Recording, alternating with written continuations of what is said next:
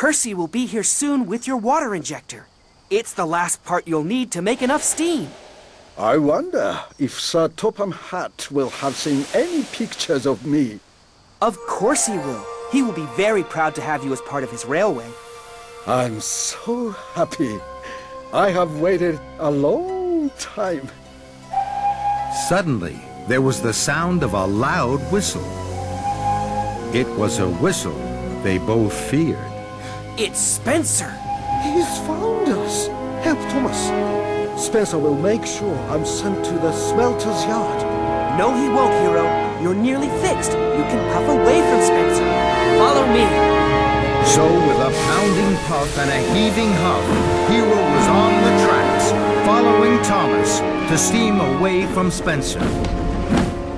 Hiro steamed down the track, rattling and clattering. His pistons pumped and his boiler bubbled.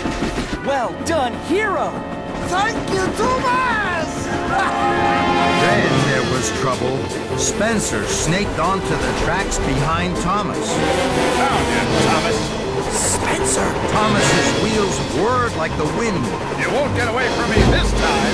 Hiro chuffed as fast as he could. He wanted to whoosh away from Spencer. Then Spencer saw Hiro and gasped. Spencer had never seen an engine as strange as Hiro before. Who are you? Hiro!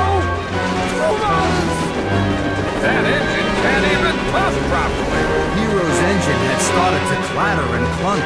His steam dome shook and his cylinders creaked. Hiro was worried. Without the last engine part, Hiro could only sputter and splutter. Engine started to judder and jitter. Parts fell off. They clanged and they banged onto the track. Don't worry, Hiro! You can do it! Thomas, help me! But the harder Hiro huffed, the worse he wobbled.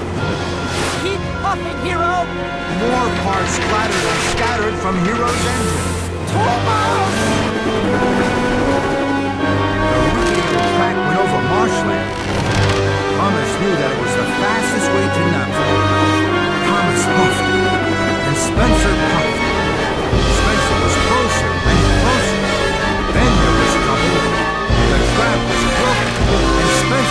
too heavy with him.